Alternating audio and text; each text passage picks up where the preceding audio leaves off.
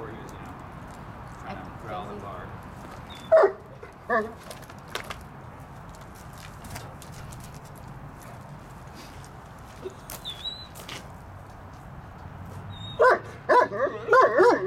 he doesn't like to be by himself. No,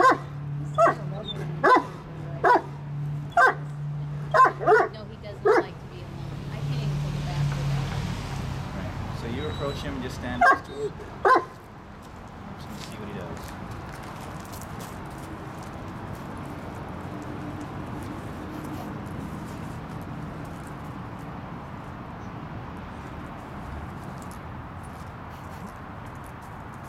Loves his mommy. We just want to take away all the wiggliness and bumping um, towards her eventually.